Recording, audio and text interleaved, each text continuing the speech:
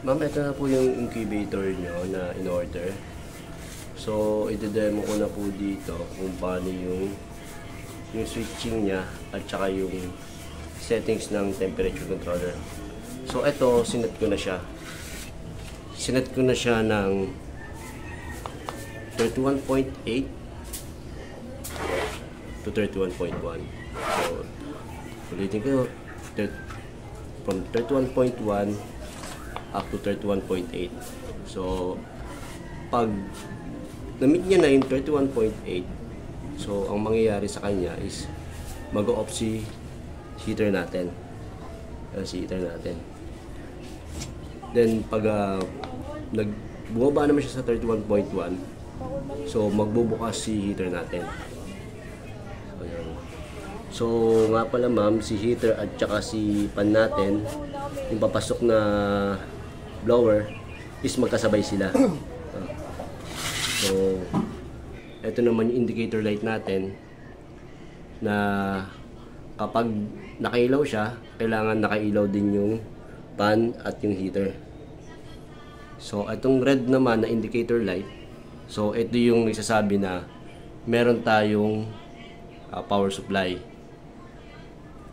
Tapos, ito yung tatlong switching natin. Una, yung unang switch natin is para dun sa exhaust fan. Yan. So, mamamatay si exhaust fan. Ito yung switch niya para kay exhaust.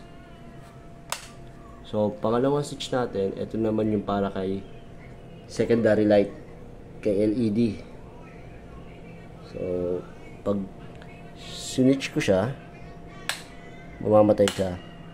So, manually yung switch niya, on and off, na kailangan switch natin siya kapag gusto natin, then i-off natin kung ayaw naman natin. Pero, dahil nga ginawa ko to, dinesign ko tong ganito, mas maganda habang ginagamit yung incubator is kasama na siya.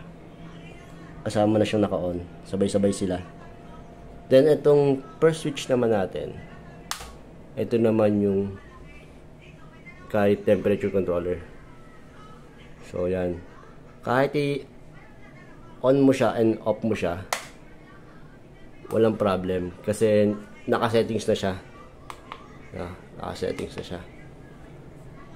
So, for delivery na to ma'am, di-deliver na namin to sa'yo today para magamit mo na rin siya.